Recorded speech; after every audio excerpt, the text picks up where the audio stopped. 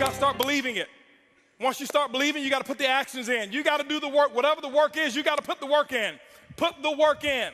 This is network marketing. It's not net sit marketing. It's not net play marketing. It's not net think about it marketing. It's not net one day I'll get to it marketing. It's net work marketing. And most people miss the W, the work part.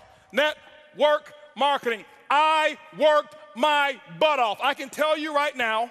Now, remember, it's not just work, you've got to be productive, not just active, you got to be productive. I'll tell you why I make what I make today. I'm gonna, I'm gonna write this down. This is, my, this is my schedule when I first started, okay?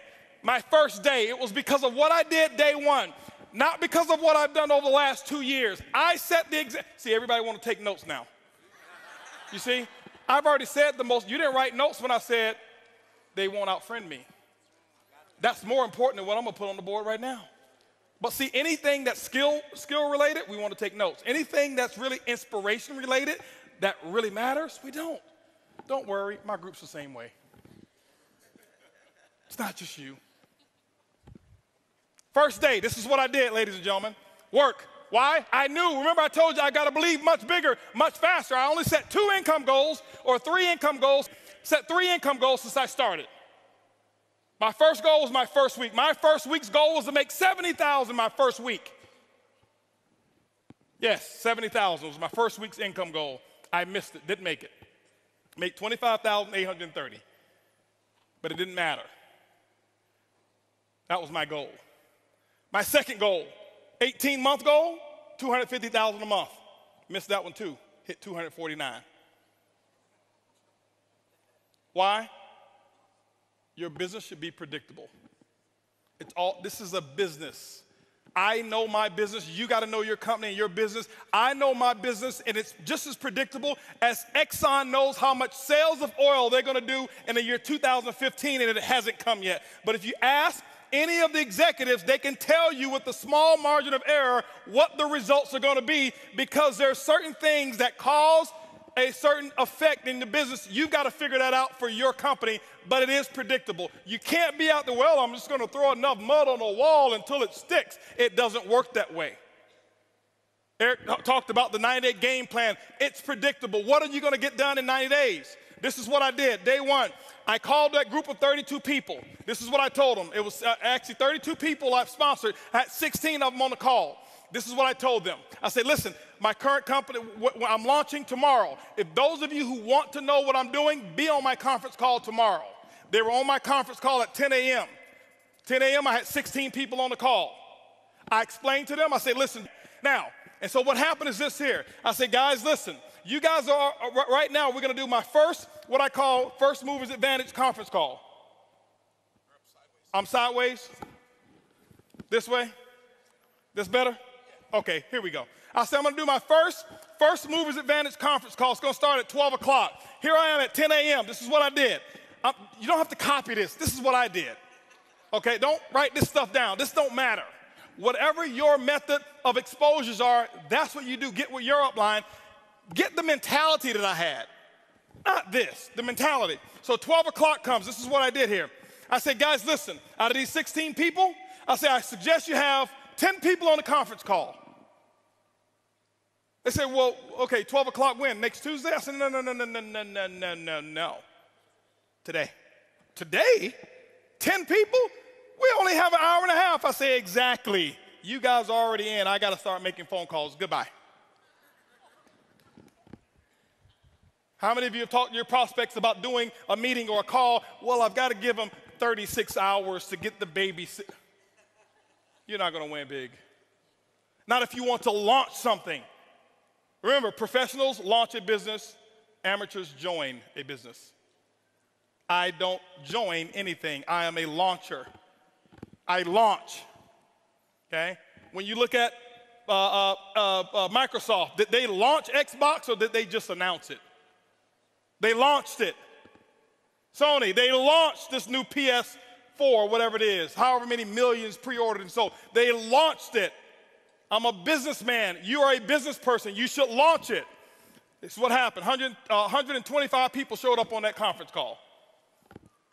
on that conference. Call, don't clap, don't clap. It's not the number, it's the attitude, it's the mentality. My group before, they saw me give people 24, 36 hours to prepare for a stupid conference call. You're sitting at home, you don't need three days.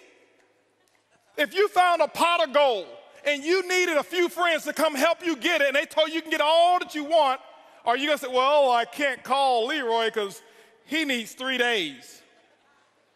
Leroy, listen, I found a pot. Of, you better get. Leroy's like, where is it? I'm putting on my pajamas right now. I'm coming out the door. If you make it important enough, some of you don't make it important enough. My next call was at two o'clock. Two o'clock. Guess what? We had 225 people on the conference call because I told them the exact same thing. I painted the dream. I couldn't even explain the comp plan at all. Didn't know all the details. But what I told those 225 people, I said, listen, you guys are the second people to hear about it. I'm working on something called Project 5000. 90 days, I want to put 5,000 people in this organization. And nobody has signed up yet. And none of you on this call can sign up either.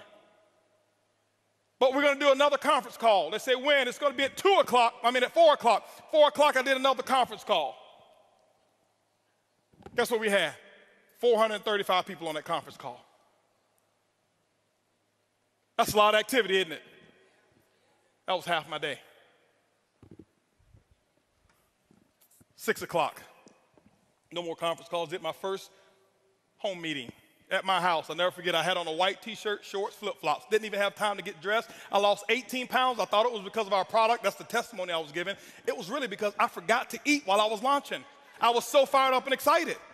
That's what was happening. Six o'clock came. This is what I had. I had 25 people show up at my house. and say, come on in. Told them about Project 5000. And I'm sitting there spitting in all this stuff and telling them all about the stuff. Whiteboard, no PowerPoint. Didn't have PowerPoints for six months. No PowerPoints.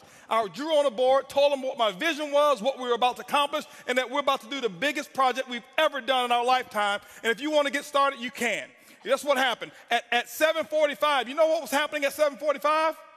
7:30, I mean, my doorbell was ringing with the second group of people that were invited. 35 people showed up at my house. And you know what I told those people here? I said, listen, the first 25, I said, guys, I got to wrap this up. We got another group of people that's coming over here. If you want to get in, you can. But go ahead over here to the dining room. My wife has the applications over there, blah, blah, blah. You can get signed up over there. But I've got another group of people that's coming in, and I can't be late with them. By the way, those of you who go ahead and sign up now, this group that's behind you, they possibly could be in your organization if you go ahead and get in right now. All right? So this is 7:30. Guess what happened at 9 o'clock, ladies and gentlemen? 9 o'clock. Guess what I had? I had another 40 people show up at my house. And I was running shift work Okay, 10 o'clock, guess what? I did my last meeting for the day, and I think at 10 o'clock I had about 50 people show up at my house, and I'm doing the same thing. I lost my voice. I did that for the first day. You know what my leaders were doing? They're looking at me like, this dude is crazy. I've never seen him like this before. You know why they never seen me like that before? Because I had never done all that I could do. I had never gone all out. I had never sold completely out. It ain't because of what my product is. It ain't because of my comp plan.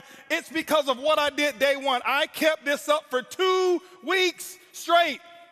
This is not including the one on ones that I did. This is not including the three way calls. This was my schedule every day, group calls, four a day, four home meetings a day that I was doing every single day. And what I did is I showed them an example, and they went out and they start doing the exact same thing. That's why my results were where they were.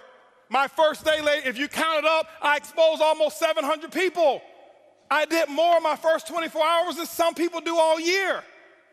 It's not because I'm do, I do magic, it's because of what the math is. It's simple.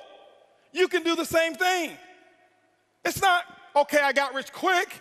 I compress time frames. Compress time frames. This is the work. You do the action, and ladies and gentlemen, when you put the action in, whatever your action is, you find out what your mentor, your coach tell you you need to do, and that's what you need to do.